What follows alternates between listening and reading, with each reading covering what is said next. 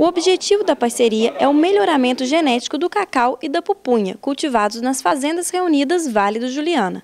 As culturas são utilizadas para a produção de chocolate e palmito. A intenção é que, com a pesquisa, a qualidade desses produtos melhore. O melhoramento genético é muito importante porque vai é, prover ao agricultor cultivares melhoradas, né? resistentes às pragas, de melhor qualidade, mais produtivas. Então, dentro desse convênio, a ideia é trabalhar com cacau e no outra vertente vai ser o melhoramento de pupunha.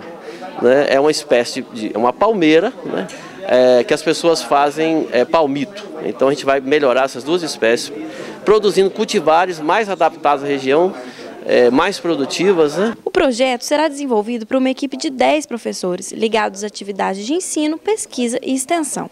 Alunos de graduação e pós-graduação também estarão envolvidos no estudo. Os alunos de graduação e pós-graduação aqui da UFLA, eles irão para a Bahia, passar um tempo na fazenda Odebrecht, é, fazendo, realizando esses experimentos.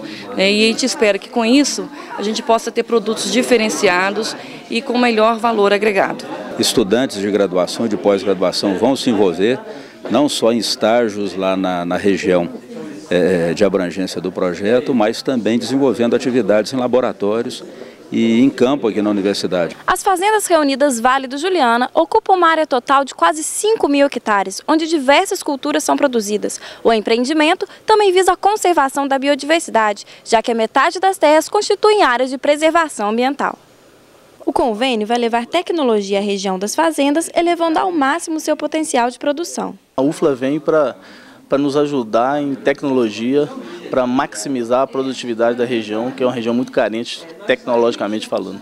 E a universidade vai ter a chance de contribuir no desenvolvimento regional, fazendo um trabalho de pesquisa junto à, à fundação, para que possa melhorar a qualidade de vida das pessoas que vivem naquela região. Projetos como esses, que aproximam a iniciativa pública da privada, beneficiam os dois lados. A universidade desenvolve pesquisas e os seus resultados são aproveitados pela empresa e pela sociedade. A Universidade Federal de Lavras, como eu sempre digo, é, levando não só os conhecimentos gerados aqui, como em outras instituições, a importantes regiões do país. O convênio com as fazendas reunidas Vale do Juliana tem como foco a agricultura sustentável e conta com o envolvimento de quatro pró-reitorias, extensão e cultura, graduação, pós-graduação e pesquisa.